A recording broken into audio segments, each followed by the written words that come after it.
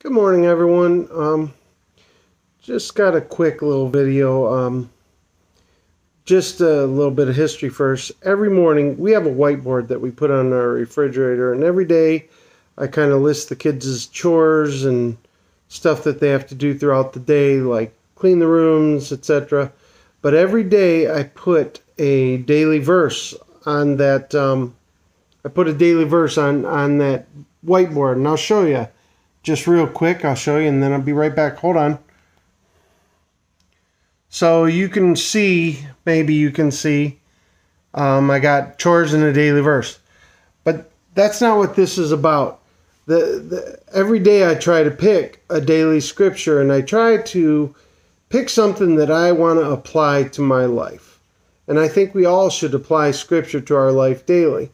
But this scripture I just felt led to this morning it's Isaiah 53 5. It says, But he was wounded for our transgressions, he was bruised for our iniquities. The chastisement of our peace was upon him, and by his stripes we are healed. Now, transgressions are, are we can also refer to as sins, and iniquities are basically rebel. Iniquity means rebellion.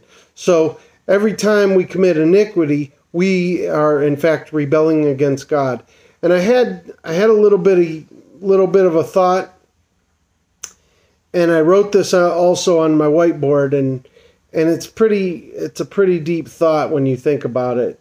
And I said this, I said the next time we get tempted to sin, think about how every beating, every lashing, and ultimately the death of Jesus was for our sin, for our iniquity, for yours, for mine. And I said this and I thought about it.